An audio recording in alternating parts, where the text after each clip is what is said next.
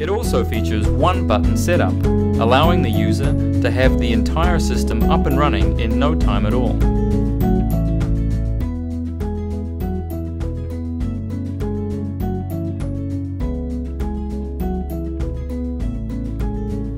And we're alive! Fabrizio's stores are now fully monitored and fully protected.